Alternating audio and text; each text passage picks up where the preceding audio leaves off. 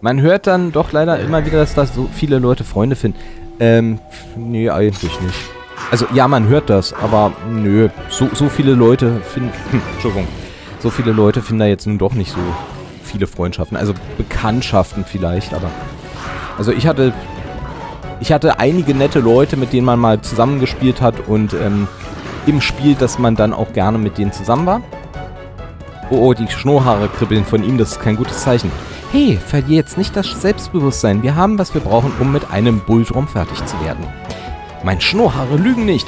Ich sage dir, dieser Ort bringt Ärger. Keine Zeit zu zögern, wir müssen diesen Bulldrum erledigen. Okay. Ähm. Es geht los. Ja, aber ich sag mal, ich habe einige nette Leute getroffen, also so in, in Chats und so, mit denen ich auch gerne gechattet habe, mit denen ich mich ausgetauscht habe, so ein bisschen wie mit euch. Ja, also das ist alles okay. Und ähm, ich sag mal, aber ich habe die nie persönlich getroffen. Und das ist ja dann doch immer noch ein Unterschied zwischen, man hat sie mal persönlich getroffen und, ähm, naja, ich äh, habe nur mit ihnen sozusagen gechattet. Da ist, da ist immer doch noch ein Unterschied drin, ne? Was die Leute nicht verstehen, ist die Tatsache, dass die Technik auch ungern mitspielt. Das Anschließen ist ja kein Problem. Das kriegt der jeder hin, aber das Headset oder Mic anpassen ist wieder eine andere Sache. Ja, ja, ja. Und dann, besonders beim Mikrofon, das richtige Mikrofon finden im ähm, Vergleich zur Stimme und so weiter und so fort. Also deswegen, das sind dann immer noch, noch, noch andere Sachen. Ne? Also äh, ihr habt es ja bei mir mitgekriegt, ähm, ich habe ja das ein oder andere Mikrofon im Laufe der Streams verwendet. Ich habe ja sogar hier so einen Procaster oder wie es hieß, oder doch, das war das Procaster von Rode. Das, was prinzipiell fast jeder hatte oder hat. Ja? Habe ich ja mal auch verwendet. Ehrlich gesagt, ich bin damit nicht zufrieden gewesen. Deswegen bin ich ja auch wieder hier bei meinem Standardmikrofon gelandet. Ich finde, das ist immer noch das Beste für meine Stimme. Aber ähm, da musst du ja auch erstmal durchsteigen. Du musst sozusagen suchen und dann ausprobieren und was weiß ich alles. Und die Zeit und die meisten Leute wollen doch einfach nur loslegen und spielen. Jetzt ganz ehrlich. Und nicht jeder hat auch den Platz, sich ein großes ähm, Mikrofon irgendwo hinzuhängen oder sowas. Also deswegen ja. So. This'll put you out of commission.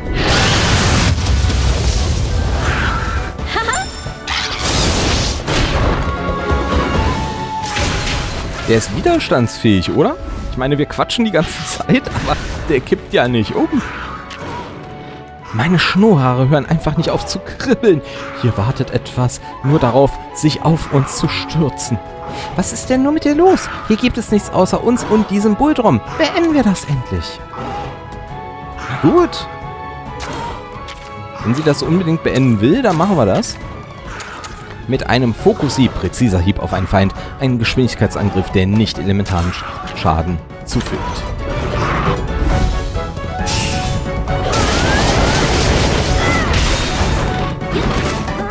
Finde übrigens cool, dass die Animationen unterschiedlich sind. Oh, Krafthieb. Oh, oh. Vorsicht. Was zum... Woher ist das Kerlchen dit gekommen? Heilige Gewehrlanze. Das ist ein Anjanat. Ich hab dir gesagt, hier ist noch was. Jetzt ist nicht die Zeit zu brüsten, sich zu brüsten. Wir müssen hier weg.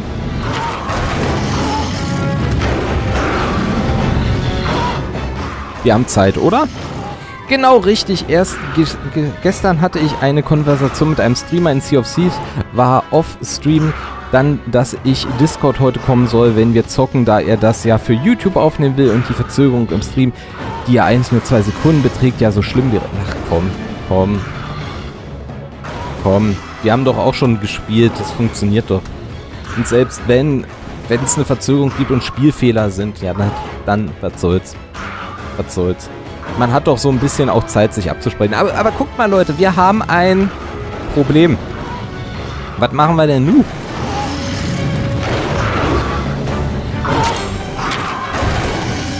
Was machen wir denn nun? Also ich, ich hau mal weiter auf den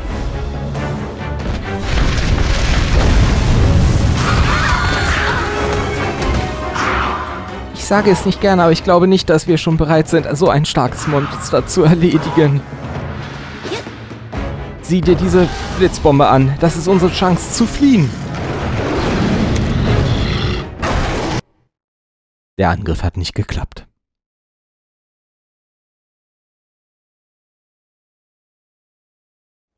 Whew, we got away. Don't worry. We should be safe now. Basket of bitter bugs, what was that thing? I was expecting a dancer, not some kind of raging nightmare! Look, just calm down. I'll explain. That was an Anjanath. It's a fierce monster for sure, but it usually keeps its distance from humans. I have a feeling this is all connected somehow. We'd better head home and warn everyone. Sounds like a plan! Let's skedaddle! Oh, this stress isn't good for my heart! Naviru, wait. That's a dead end. Hey, who's the navigator here? You really think I wouldn't? Huh? Buddy! Are you seeing this too? A treasure chest? Looks like that shady Mealinx was telling the truth after all! Grab the bottle caps and let's get out of here! Ja! Oh, wir brennen. Ähm. Ähm. Wir brennen. äh. Ähm. Moment bitte mal. Kann, kann ich mich hier irgendwie... Kann ich mich äh, irgendwie von Feuer heilen? Wisst ihr das? Ähm. Ist nur Feuer. Ähm, ja, schön. Wir haben kaum Lebensbalken da unten, deswegen, ähm, aber irgendwie, wir haben einen Grill. Ein Werkzeug zum Grillen von leckerem rohem Fleisch. Keine Sorge wegen der verbrannten Stücke. Das ist nur der Geschmack. ist, ist, ja auch cool. Okay, ähm, aber ehrlich gesagt, ich glaube, wir haben nur Tränke und Kraut. Ich hoffe, dass das funktioniert, wenn ich mich mal hier so ein bisschen hochheile. Hoffentlich hört das Feuer bald auf. So. Ein guter Fund. Der Mellüngs im Dorf handelt mit Kronkorken. Statten wir ihm einen Besuch ab. Wenn wir schon den ganzen Weg gekommen sind, können wir uns auch ein Ei schnappen. Los, bevor der Anja zurückkommt. Ja, der ist einfach. Aber ich muss jetzt mal in die Küche. Na dann, ähm, viel Erfolg dabei. Ich hoffe, dass wir nicht sterben, weil wir hier gerade immer noch brennen. Ein Monster Hunter Reis würde ich jetzt durch die Gegend rollen. Ihr kennt das ja. Ist Wasser. Moment. Komm nicht runter. Schönes Spiel. Finde ich auch. Also ich finde das Spiel sehr cool gemacht und es ist be besonders äh, nicht so actionreich in Anführungszeichen. Es ist irgendwie eine Mischung aus ähm, mehreren Spielen. Kampftechnisch und auch ähm, monstertechnisch so ein bisschen an Pokémon, glaube ich, angelehnt, aber doch weit entfernt. So, wir haben eine Aufgabe. Und ihr könnt gerne mitmachen. Du findest es sehr gut. Ja, also wie gesagt, mir macht es sehr viel Spaß. Ich bin damals zeittechnisch nur dazu nicht gekommen. Ja, ich habe sozusagen ein Stück gespielt. Wir sind noch nicht an dem Punkt angekommen, wo ich dann aufgehört habe, aber ähm, danach hatte ich keine Zeit mehr. Und das habe ich immer bereut. Ich wollte es immer weiterspielen. So, passt mal auf. Wir können uns ein Ei schnappen. Dieses Ei riecht wirklich nach viel. Und es Riecht nicht wirklich nach viel. Entschuldigung, nicht nach viel. Und es wiegt auch noch nicht wirklich was. Also es ist sehr leicht. Und ähm, es ist auch das Einzige, was wir mitnehmen können. Sonst hätte ich gefragt, Rino, noch eins. Aber alle Eier sind gerade verschwunden. Die haben die Beine in die Hand genommen und sind abgehauen. So. Gut, dann kehren wir mal zurück. Wenn es Nacht ist, äh, gucken wir noch, ob wir die Pilze finden. Äh, bei Fragen übrigens, ähm, nicht nur an dich ist es gerichtet, äh, Zauberfee, sondern insgesamt, wenn ihr Fragen habt zum Spiel oder zur Lore, zum Setting und so weiter, einfach fragen. So, kannst du eine rufen, um jederzeit ins Dorf zurück? Achso, ja, wir können auch rufen. Das hat er automatisch weggeklickt. Alles ist gut. So, wo sind die Pilze? Pilz, Pilz? Ist das ein Pilz? Nein. Das ist ein Wurfmesser, was angespült wurde. Alles ist gut, alles ist schön. Ich möchte mit euch nicht kämpfen, ich will hier nur die Dings. Danke. Alles ist gut, alles ist schön. Ich gucke gerade, ob ich irgendwo Pilze sehe. Deswegen reite ich hier einfach mal durch. Aber wusstest du, dass heute neue Inseln kommen bis zum März, dem 4. bei Sea... Nein, bei Sea of Thieves wusste ich nicht, dass da was kommt. Wie machen sie denn das? Bauen sie die in die gleiche Ecke rein? Also bauen sie die in die aktuelle Karte oder erweitern sie die Karte, mal gefragt. Giftpilz. Das sind die falschen Pilze. So, hier sind theoretisch Monsterbauten, aber ich denke mal, wir kriegen nur die Viecher, die wir schon haben hier in der Ecke. Halt, ich höre was. Was ist das? Dämmerungspilz. Ah, da sind sie ja. Wie viele brauche ich denn? ähm, Questinfo. Äh, rohes Fleisch. Noch ein, noch ein. Wir brauchen noch einen Dämmerungspilz. Mal gucken. Wusste ich auch erst seit gestern. Ich weiß leider auch sehr wenig. Ich weiß nur irgendwelche Inseln mit Maya-Tempeln und Story. Ach, sie machen die Story weiter. Also irgendwelche Story. Schade, dass sie das Crossover mit Sea of Thieves nicht irgendwie nochmal machen oder weitermachen. Aber ich kann es auch ein bisschen verstehen. Seien wir ehrlich, ähm, wenn man jetzt zu viel davon machen würde, würde man, glaube ich, sich selbst nicht treu bleiben. Shiny? Kelbihorn. Zwei Steine. Danke. Und ist das der letzte Pilz? Nein. Ich suche noch einen Pilz. Entschuldigt bitte, wenn das gerade langweilig ist. Aber wir suchen noch einen Pilz, um den Nebenquest abgeben zu können.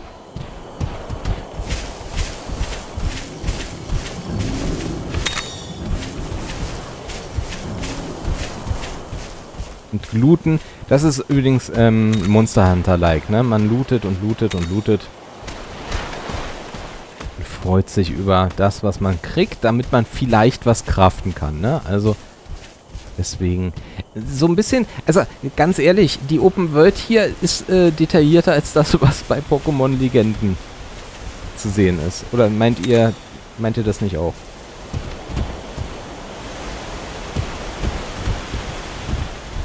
Gerade was gehört. Ich habe doch was gehört, aber leider war es kein Pilz. Hm.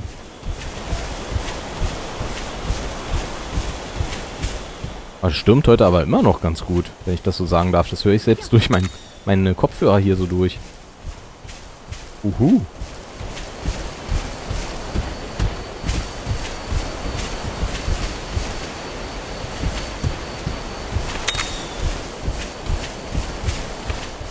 Blaupilz. Ja, ich brauche die in Rot.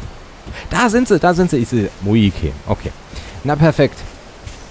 Wir nehmen Dämmerpilze mit. Ich glaube, jetzt haben wir alle. Gut, so. Ich gehe zurück, damit die Story weitergeht. Ich wollte es nicht zu lange machen hier, ne? Guck mal übrigens. Es steht da, schnelle Heilung mit L.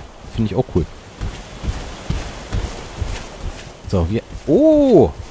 Freunde, da oben ist ein besonderer Monsterbau. Wollen wir in den rein? Uh, warte. Ja, warte. Se se seht ihr das? Da, da oben ist ein besonderer Monsterbau. Wollen wir, wollen wir in den rein? Weil da können wir vielleicht ein Ei holen, was selten ist. Oder besser ist.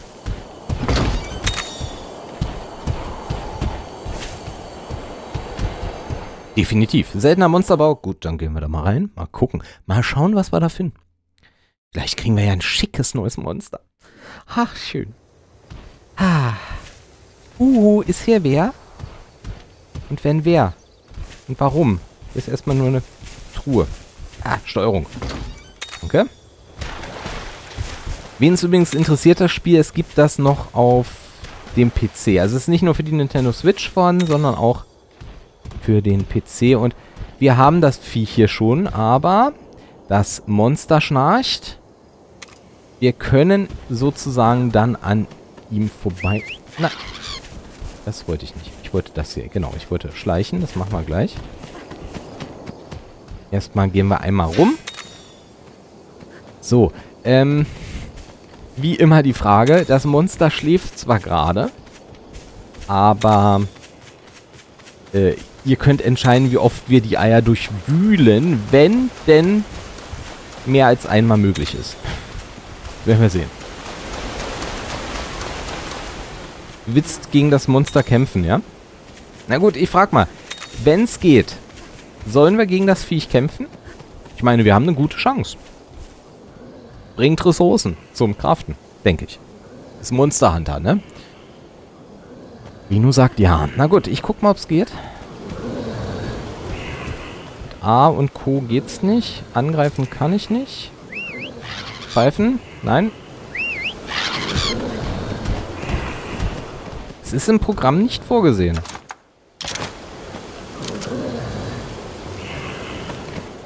Schade. Also ich kann jede Taste drücken, die ich will. Nichts passiert. Gut, ähm, es ist nicht vorgesehen, also wir suchen mal ein... Oh. Ganz schön miefig. Und es wiegt noch nicht wirklich viel. Ein bisschen leicht. Nehmen, nehmen wir das oder wollen wir nochmal suchen? Es leuchtet. Es ist ein leuchtendes Ei.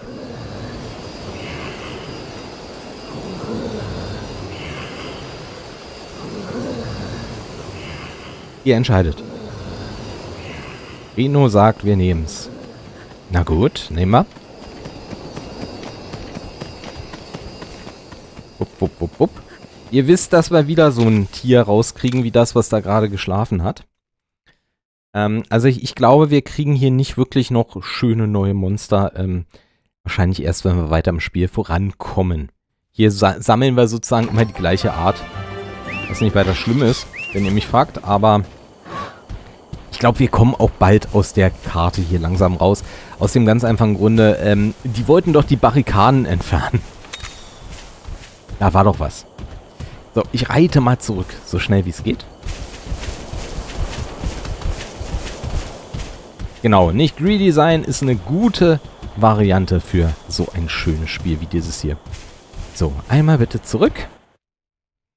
Mir fällt übrigens gerade auf, die haben gar kein äh, Sicherungstor. Du reitest wirklich direkt in die Stadt hinein.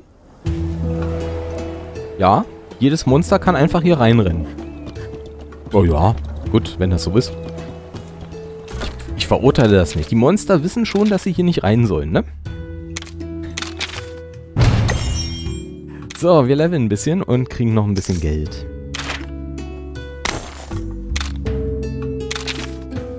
Quest erfüllt. Auch schön. Guck mal, 10.000 Zenny da oben. Das, das lässt mein Herz doch erfreuen. So, Steinesammler Dings. Ähm. Ja, mehr können wir nicht abgeben. Ich brüte mal aus. Ihr seid gefragt. Ich vermute, wir kriegen jetzt wieder die gleichen Tiere, die wir schon kennen. Aber trotzdem, ihr seid gefragt. Was wollen wir für Namen vergeben? Wir hätten hier einen ganz niedlichen kleinen Bulldrom. Bully. So. Der muss ins Team. Der muss definitiv ins Team. Süß. Ja, besonders mit seinem Sattel. Süß. Also, Was wollt ihr für Namen für ihn haben? Sonst wird's wirklich Bully.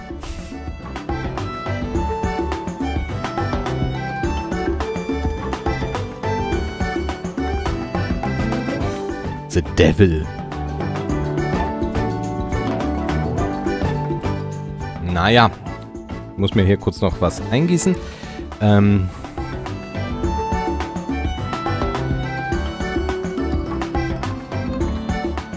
Auch ein bisschen härtere Namen. Naja, nicht wirklich. Geht schon. Wir müssen da auch ein bisschen, müssen knuddelig bleiben. Guck mal, der ist doch lieb, der ist niedlich und deswegen machen wir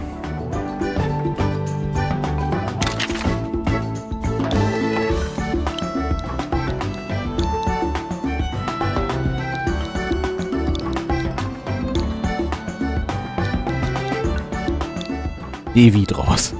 Ich lass das L einfach weg. Das ist Devi. Er wusste es halt nicht anders. Eigentlich wollte er Devil heißen, aber hey. Devi. Ein bisschen wie Nevi oder Navi. Das passt schon. Komm. Wir machen das so. Und dann haben wir noch das nächste Küken. Küken. Wir können ja die Tiere alle umbenennen, das wisst ihr ja. Devi ist gut. Ja. Huch, nochmal ein. Ähm. Ähm. Ähm. Eins der Eier war jetzt aber im falschen Nest, oder? Nur so gefragt.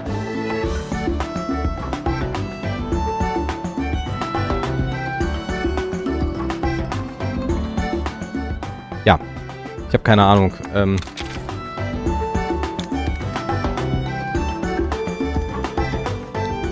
Gut, dann kriegen wir doch noch den Bully einmal raus. Komm, wir machen einen Bully, der kommt nicht ins Team. Der war irgendwie... Das ist ja... Was, was ist denn da passiert? Also, pass mal auf. Wo ist denn hier mein Dings hier? Ähm, der da. So, ähm... Ich schmeiße... Jetzt gucken wir mal kurz nach. 88, 87. Schnabel ist, äh, ist nicht ganz so besser als gedacht, aber egal. Ähm, ähm... Dann schmeißen wir Kuckuck raus. Genau. Und er kommt ein bisschen nach oben.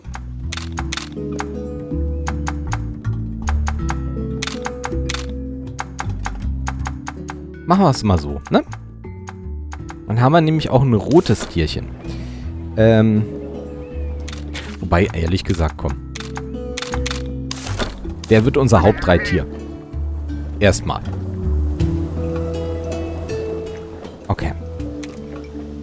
So, ich berichte jetzt mal dem komischen, zwielichtigen Kater da hinten. Hier unterhält man sich schon mal über einen Anjanat. Der einfach so... Ähm, Anjanat, wenn ihr Monster Hunter World gespielt habt, dann wisst ihr, die Dinger laufen gerne vor den Siedlungen der Menschen rum. Da ist es auch gleich ein Anjanat ganz am Anfang, der einen angreift und gegen den man auch keine Chance hat. Das scheint sehr beliebt zu sein bei den Monster Hunter Entwicklern. Okay, so, hier, Kätzchen. Oh, ja, das sind authentische Kronkorken. Vielen Dank. Kauf ruhig, was dir gefällt. Die Melynx GmbH ist ein exklusiver Laden, bei dem du Kronkorken gegen seltene Objekte eintauschen kannst. Kronkorken können in Einstbauen gefunden werden oder als Belohnung für Nebenquests erhalten werden.